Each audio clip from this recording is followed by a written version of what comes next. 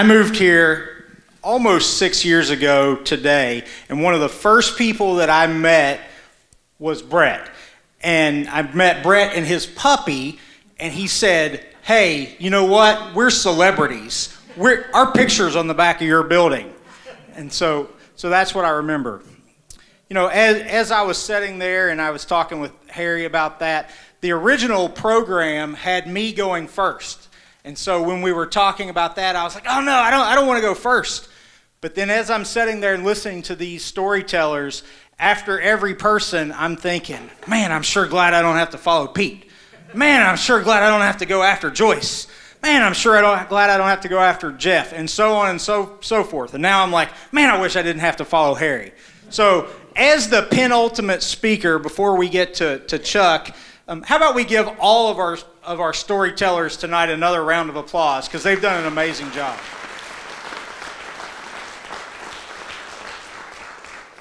So, I'm, I'm going to tell you a little story about myself and how, you know, even the most unfortunate accident can have a profound impact and can shape your perspective for a lifetime. So, as Brett said, I grew up on a farm in southern Ohio, the son of non repentant hippies. I think they probably hung out with Ron Kibbe. Uh, you know, we had we had pigs, we had a goat, we had a ton of chickens, we had a pony. Um, there was a little bit of agriculture, and I learned later that the uh, cash crop was not tobacco. Um, what we didn't have was an indoor bathroom. So I spent the first 10 years or so of my life navigating an outhouse, and I wasn't the smartest kid in the world, but I knew that that really sucked. Um, you know, but it was something that, that we worked through. We had a natural spring on the property. We did later get running water, but there was still no sewer system, so we would take baths on a partially secluded back porch, and we just kind of kind of worked through it. But you know, this this is not a sad story. It was an amazing way to grow up, and it's you know it was something that um, shaped me as a child. I ran through those woods, and I pl- ran with our uh, German Shepherd. I played in creeks. I swung on grapevines. I tormented the farm animals. I even rode the pigs. I'll, I'll tell you a little secret. They really don't appreciate it. Um, you know, but this, this, was a great way to grow up as a kid, and I think some of some of that's lost on uh, current generations. Certainly on my teenage daughters. I promise you that.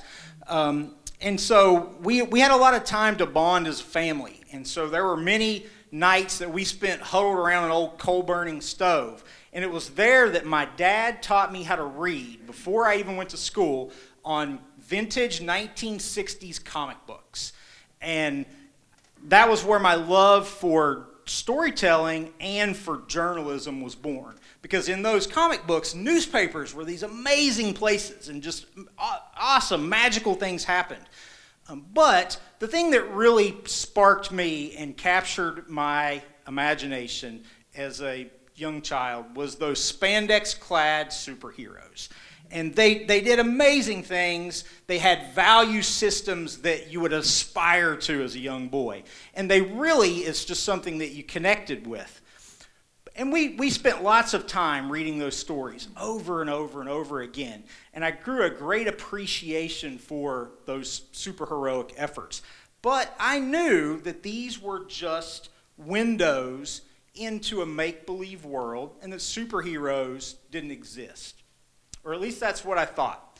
Over the years, I've had lots of evidence to tell me otherwise. One of the earliest pieces of that was when we were still there on that farm. I was uh, probably uh, eight years old. We were out cleaning up a campsite, and um, I was doing what eight year olds do, and I was not paying attention and not listening to, to mom and dad, and I, I fell into a, a old fire pit. Now the coals were long since cooled, but people had thrown glass bottles into the into the pit. So underneath those ashes was um, shards of glass. I sliced my hand wide open. I still bear the scar to this day. In my memory, blood shot out of my hand like a geyser at Yosemite or, um, uh, you know, Yellowstone. Yeah, thank you, thank you. So um, that in my head, that's what I saw. I was absolutely convinced I was going to die. I was just waiting for my hand to fall off. And then, then something crazy happened. It was like time slowed down. I looked at my father, and it was almost like the panels that you see in a comic book. He rushes towards me and he rips his long john shirt off like the Incredible Hulk, swoops me up, and wraps my hand up and, and says everything's going to be okay.